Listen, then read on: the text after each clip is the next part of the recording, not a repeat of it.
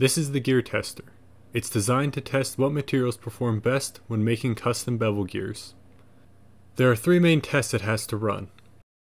First is testing the friction between gears across a range of speeds and torques. This shows how efficient the gears are, meaning how much power is input and output, and how much is lost to heat. Second is the breaking test, which breaks the gears. It shows the torque required to instantaneously cause the gears to fail. The final and most complex test is for wear. It shows how well the gears perform long term under constant load, giving a good estimate how well they will perform in actual use.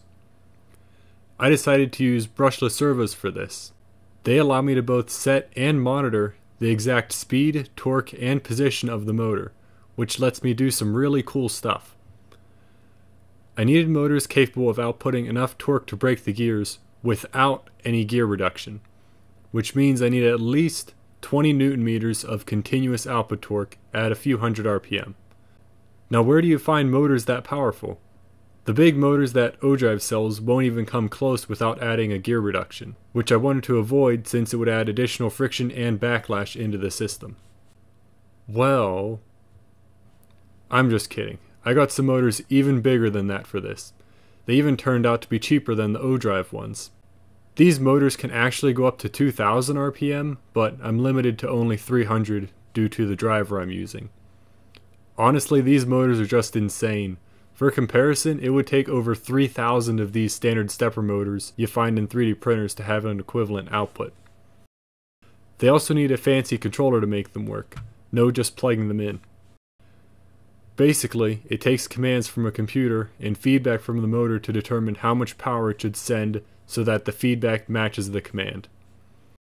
Side note, all FANUC encoders that I've come across actually have A, B, and Z pins available internally, so you can use them to get the correct signals for an ODrive. Ideally, I'd be using professional servo drives, but they happen to be a bit pricey. The drives I'm using limits the motor speed because it can only output a fraction of the voltage the motor wants. Luckily, with how motors work, voltage controls speed and current controls torque. The drive I'm using has more than enough current to max out these motors, so everything will run just fine. Everything is powered by a variable transformer. It made it easy to get the correct voltage, and I had it on hand. These motors also have brakes built in, just like the ones on the robot, to lock them in place in the event of a power failure. I don't need them for this, so I have them wired to always be unlocked when the tester is plugged in. Let's have a look at the software that actually runs the tests and sends the drive commands.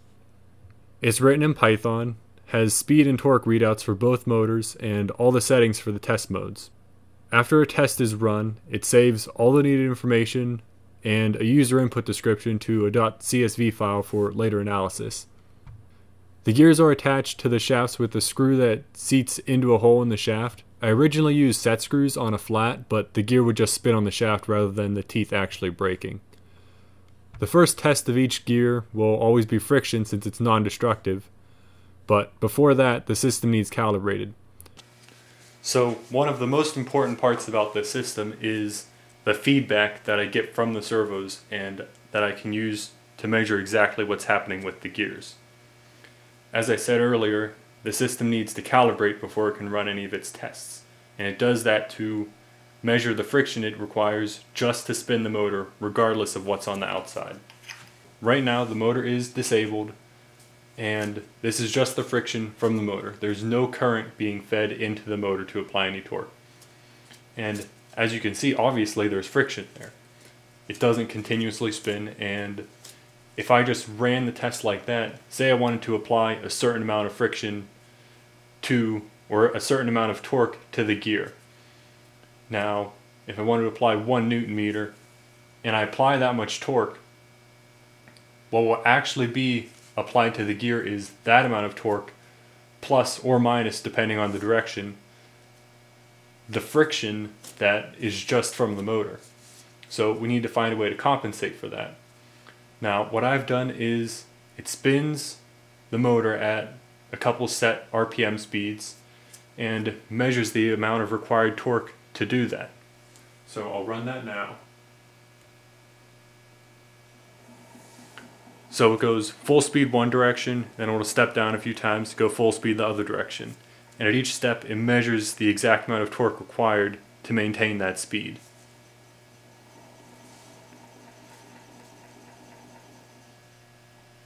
And it orients at the end to begin testing. Now that it's calibrated, it has saved all that information and can now apply it when it wants to make the output torque a certain value. So what I'm going to do now, right now the motors are still disabled, no torque being sent to them, but I'm going to enable one and set the torque to zero, meaning the motor is actually going to output torque, but it shouldn't output torque on the shaft, which is sort of weird, but the torque it's outputting is just to cancel the friction internally in the motor. So this should feel almost like there's no friction. If I start to spin it, it should spin continuously. So it's enabled now, and if I give it a spin, it continues to just go. Because the motor knows the exact speed at which it's spinning, it can use that to find how much friction it needs to maintain it. So it's not perfect, it slows down or speeds up a little bit based on like the motor warming up or other slight differences. But it greatly helps and almost eliminates the, the whole friction issue with getting the output torques correct. So doing that, I can very precisely output torques that I want the gear to actually experience.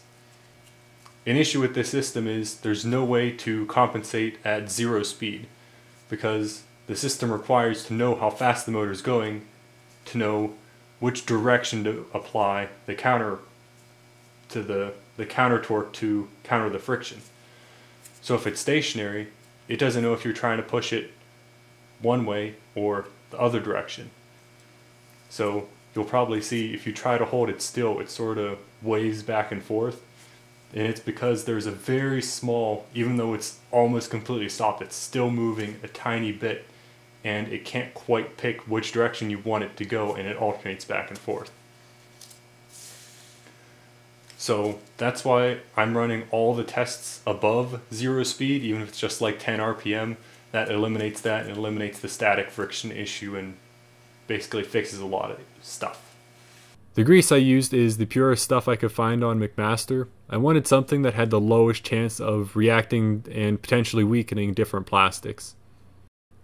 The friction test steps through a specified range of speeds and torques. At each step, it measures and saves the torque from each motor.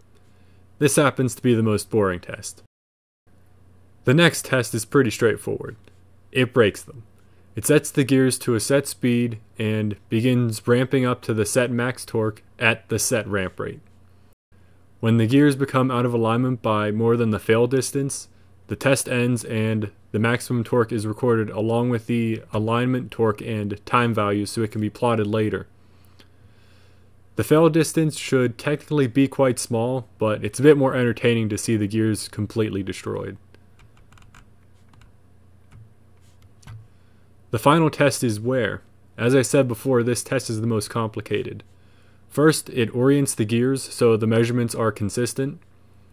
Then, to find backlash between them, it applies the testing torque in one direction, measures the alignment of the gears, then flips the torque direction and tests again. The backlash is the difference between those two values. Once it found the backlash, it sets the gears to the running speed, then applies the running torque to them. It continues running until it's time to run another backlash measurement, and the cycle repeats until either the gears fail or they last the length of the test. And once again, all useful data is saved in a file for later use. I guess I'll end with running some more tests. Thanks for watching.